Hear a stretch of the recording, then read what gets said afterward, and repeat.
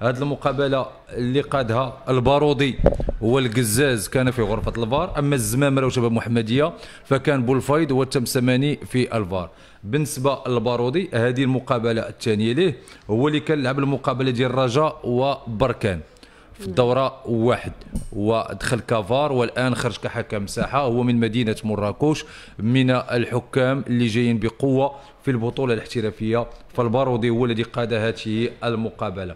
عندهم أربعة ديال الحالات في هذه المقابلة. الحالة الأولى إلغاء ركلة جزاء في الدقيقة 26 للوداد. البارودي يعلن ركلة جزاء والفار يراجع ويستدعي الحكم بعد الفحص والمراجعة تبين بأن هنا ليس هناك مخالفة. تستوجب الإعلان عن ركلة جزاء وتم إلغاء ركلة جزاء لصالح الوداد وهو قرار سليم. الدقيقة 36 مسك للعرجون داخل مساحة الجزاء وكان مسك فاضح. اللي استدعى غرفة الفار. تستدعي الحكم. غادي تسوليني يا أختي بقى تقولي لي الحكم كم موضع مزيان كان خلف اللاعبين وهنا كان خاصو يفتح شوية الزاوية ما يجريش وراء اللاعبين باش يشوف ذاك المسك ديال العرجون.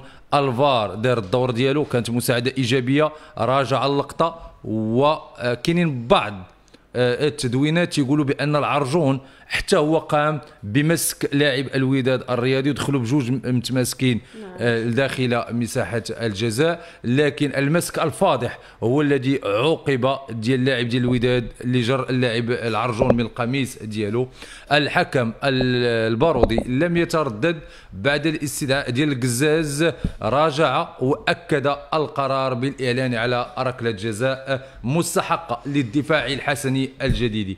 الدقيقة 70 هدف الوداد. لا وجود للتسلل. برافو للحكم المساعد الثاني. أما الهدف الرابع فهو يدرس من ناحية التسلل في الدقيقة 90 زائد 5 هو الهدف الرابع للوداد. شنا ال passe في ال profondeur وكيفاش خرج المهاجم ديال الوداد ودار بيشنات على حارس مرمى وسجل. وهذا الهدف أعجب به عبد الغفور وصفت لي اللقطة بالليل لأنه قال لي هدف يدرس في الأكاديميات. فبرافو للوداد و تمتعنا بتلك الطريقة التي سجلت بها الأهداف